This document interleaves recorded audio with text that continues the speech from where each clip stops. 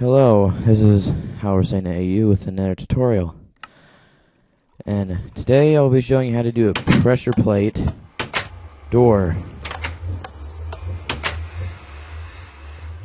First, what you have to do, you have to put a lever, and have to make sure it's face you're facing like uh let's see east.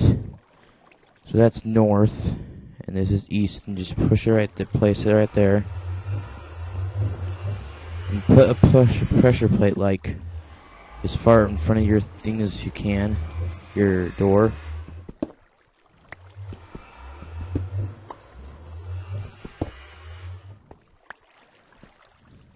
And then directly below the your lever you put redstone on. That's leading up to this which is the redstone torch which is a stick and then red uh, redstone dust on top if you don't know how to do that. And then redstone which is left click with your redstone.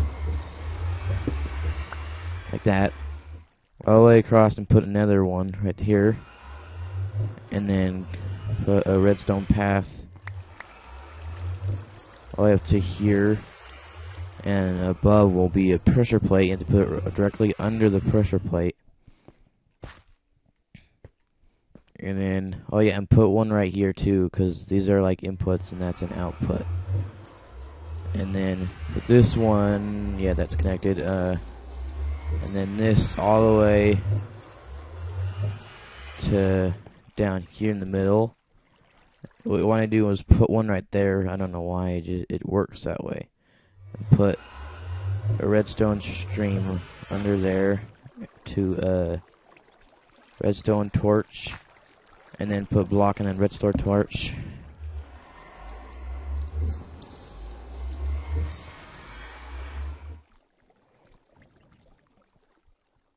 And please comment on and say if you don't understand and then say what you didn't understand so I can explain it more. And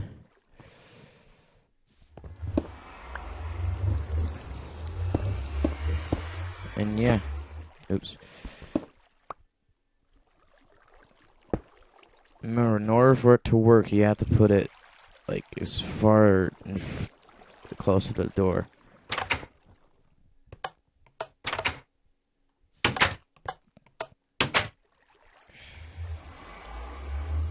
And this has to be on. So just like turn it on. Uh, I think at all times.